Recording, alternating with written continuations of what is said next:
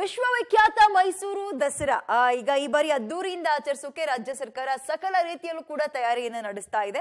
October ಹದಿನೈದರ ಬೆಳಗ್ಗೆ ಹತ್ತು ಹದಿನೈದರಿಂದ ಹತ್ತು ಗಂಟೆ ಮೂವತ್ತು ನಿಮಿಷದ ಶುಭ ಲಗ್ನದಲ್ಲಿ ದಸರಾ ಉದ್ಘಾಟನೆ ಆಗುತ್ತೆ. ಆದರೆ ಯಾರಿಂದ ಉದ್ಘಾಟನೆ ಮಾಡಿಸಬೇಕು ಅನ್ನೋ ತೀರ್ಮಾನ ಇನ್ನೂ ಆಗಿಲ್ಲ. ಕೆಲವರು ಸುತ್ತೂರು ಶ್ರೀಗಳ ಹೆಸರನ್ನ ಪ್ರಸ್ತಾಪ ಮಾಡಿದ್ದಾರೆ. ಸರ್ಕಾರ ಇದ್ರ ಬಗ್ಗೆ ಇನ್ನಷ್ಟು ತೀರ್ಮಾನ ಮಾಡಬೇಕಾಗಿದೆ. ಈ ಬಾರಿಯ ಸ್ತಬ್ಧ ಚಿತ್ರಗಳಲ್ಲಿ ಇದೀಗ ಗ್ಯಾರಂಟಿ ಯೋಜನೆಗಳನ್ನ ಬಿಂಬಿಸೋಕೆ ಸಭೆಯಲ್ಲಿ ತೀರ್ಮಾನ ಮಾಡಲಾಗಿದೆಯಂತೆ.